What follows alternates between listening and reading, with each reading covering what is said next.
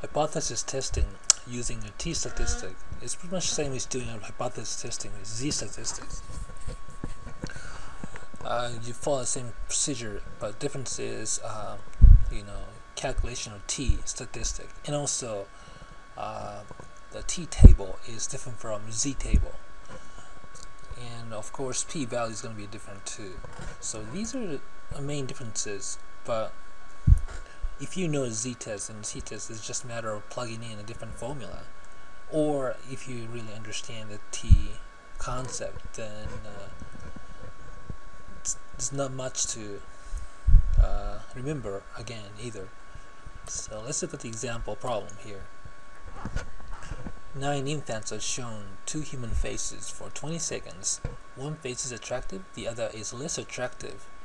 And uh, researcher tracks the amount of time in seconds each baby spends looking at each each face. His theory is that on average the babies will spend a different amount of time looking at two faces. That is, there's an effect of facial attractiveness on the amount of time that babies look at a face in the population. Um, but uh, he is not theorizing that uh, you know baby is going to look at the prettier face longer and uglier face less. And that's not the hypothesis. Uh, the theory that the, the, this uh, hypothesis that the researcher has. Uh, researcher is simply saying that hypothesizing that there will be a difference. Okay so null hypothesis and also alternative hypothesis you know it's going to be no effect or some effect.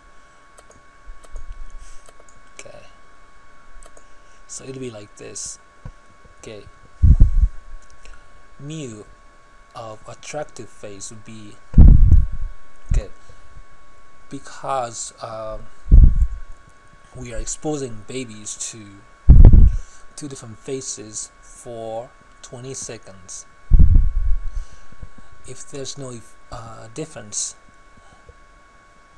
which is no hypothesis, so if there's no difference, baby will look at uh, each face for 10 seconds. So we can do a hypothesis, uh, make a statement like this: mu attractive equals to uh, 10 seconds. An alternative would be, you know, not 10 seconds. Could be more, could be less. But not 10. Just like a z-test, you know. So the same concept, you, we can use the uh, same concept to uh, set up the hypothesis testing. Okay, so you can uh, use a, a you know special notations and it's like it's like this.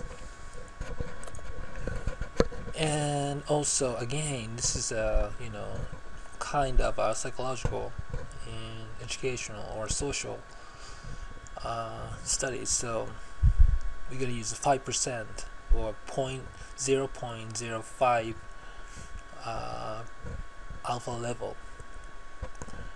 In other words okay uh, we are okay with there being a 5% chance of making a type 1 error.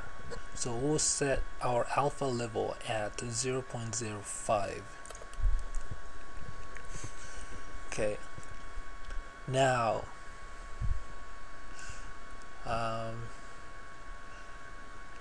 as in z-test, you know, in t-test as well, we need a set, uh, set up the uh, critical, you know, critical values or uh, you know the alpha level you know the T lines.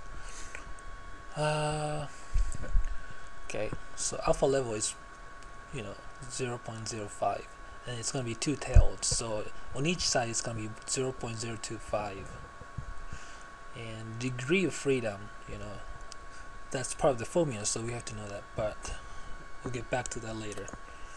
Okay first of all, uh, why did we need degree freedom? uh, it's probably that's just because look at this.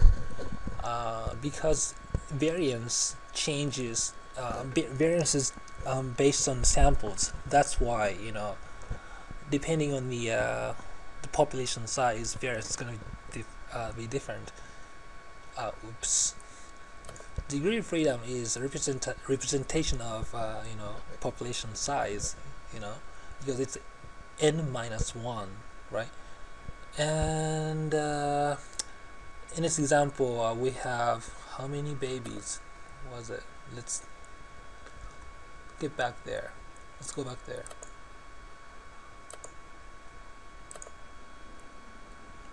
Okay.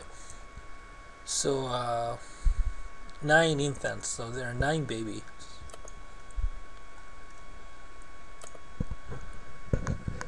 so when we have nine babies or nine you know uh, values in population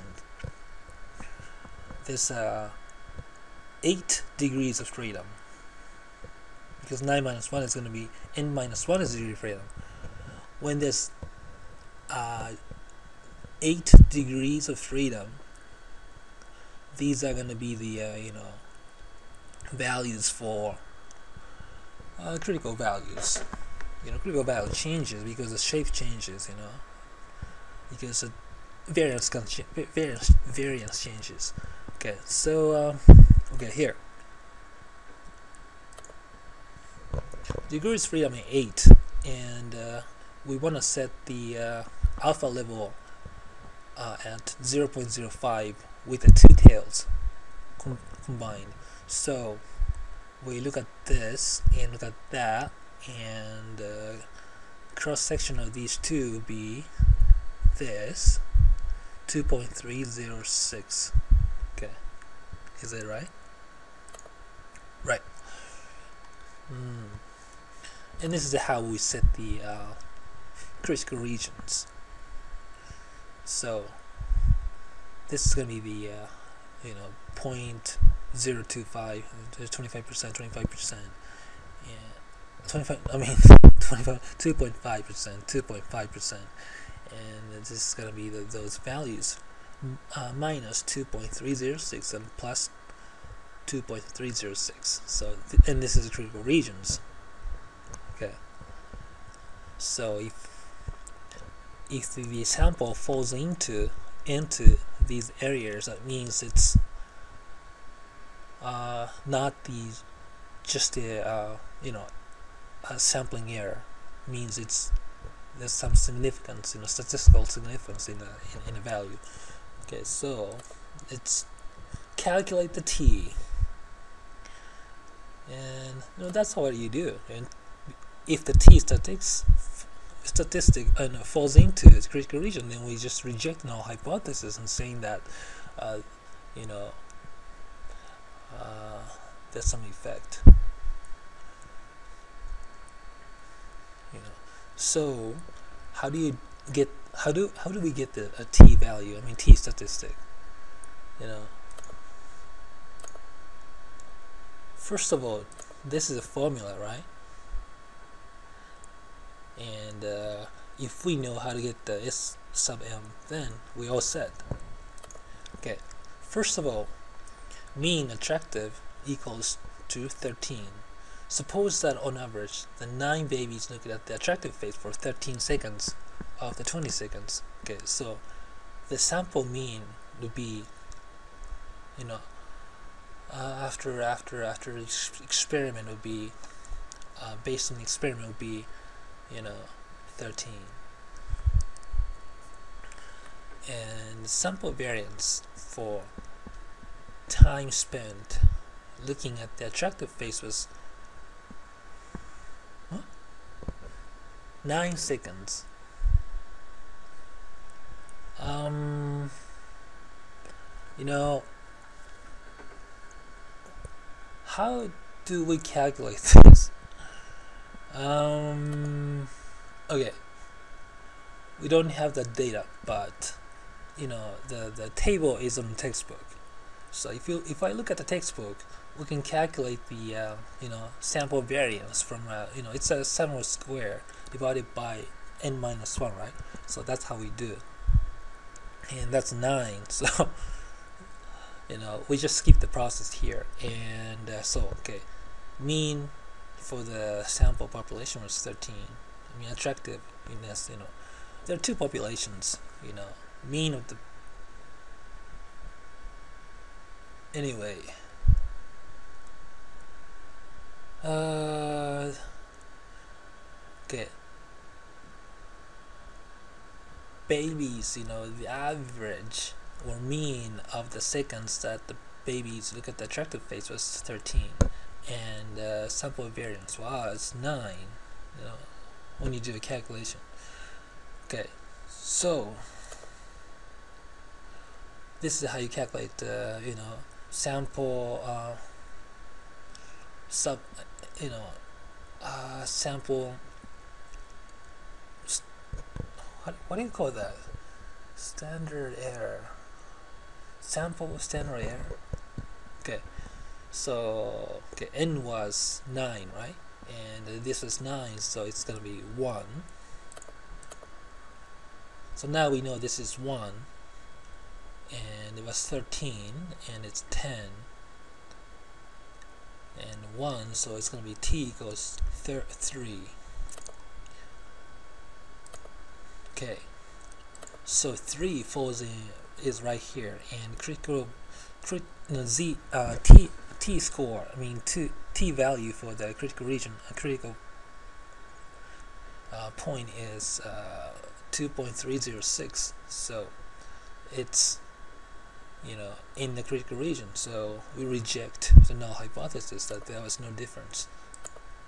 So because my t statistic is in the critical region of the t-test distribution, t-distribution, okay, we know that the, my p-value is less than the alpha level.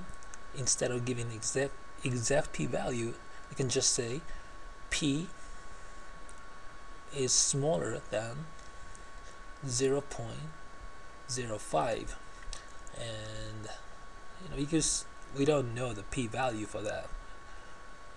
Uh, so we don't have the table to get the exact uh, p-value for that you know.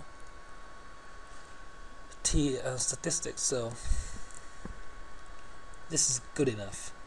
And there's less than 5% chance I would see a data like 9 uh, on mine if there's no effect and that's the conclusion.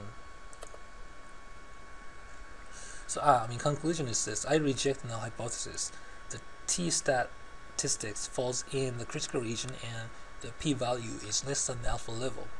I conclude that in a population babies don't spend the same amount of time looking at the attractive and less attractive faces. They seem to prefer attractive faces. You know I guess we could uh, say that there is an effect of attractiveness on the amount of uh, time babies spend looking at faces.